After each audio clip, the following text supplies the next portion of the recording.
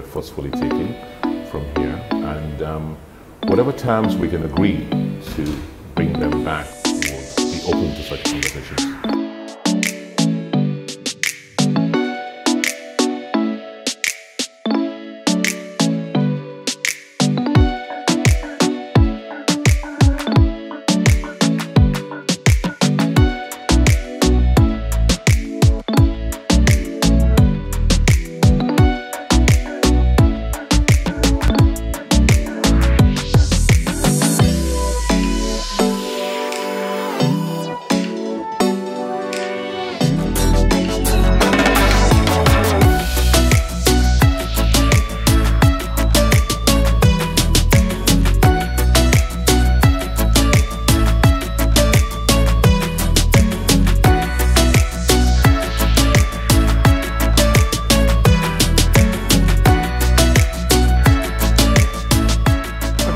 Curators from European museums and Nigerian campaigners known collectively as the Benin Dialogues said that a possible solution would be to lend these artworks, a number of Benin bronzes, to Nigeria on a long-term loan basis. But it was clear that it would be a loan and the stipulation was that Nigeria had to build a world-class museum with world-class security in which these artifacts could be housed.